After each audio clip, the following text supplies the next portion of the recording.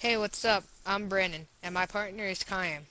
To help us better understand customary capacity measurements, let us introduce you to Gallon Man.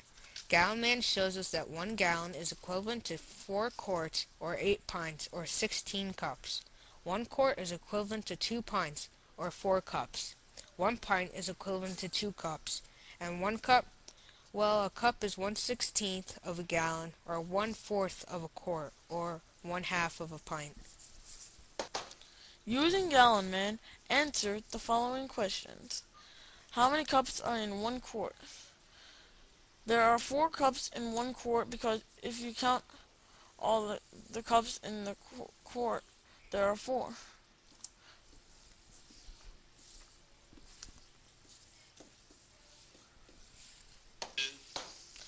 How many pints are in one quart? There are two pints in, in one quart because there are two pints in one quart.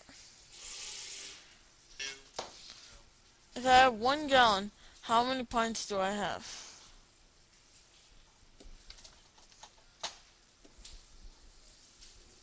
There are two pints in one. Well, oh, wait. There are two. There are eight pints in one gallon because you would count all the the, pints in the gallon.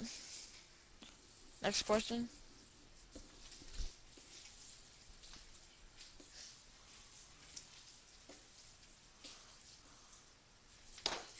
If I have four cups, how many pints do I have?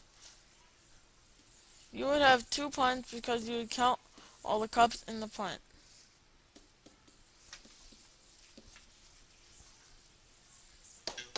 That's all the time we have today, so bye.